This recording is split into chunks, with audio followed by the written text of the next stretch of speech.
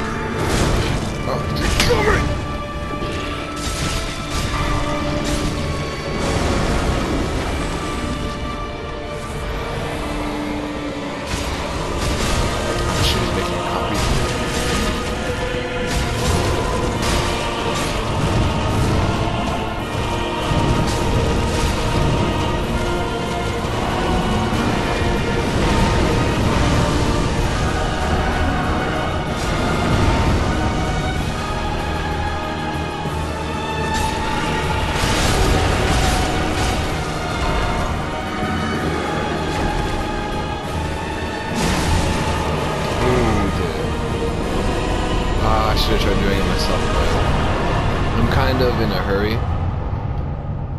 Oh, oops, I forgot. I almost didn't say thank you.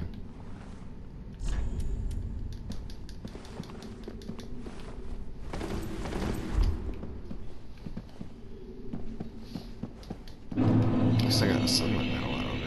Oh, I forgot that I lost my souls too.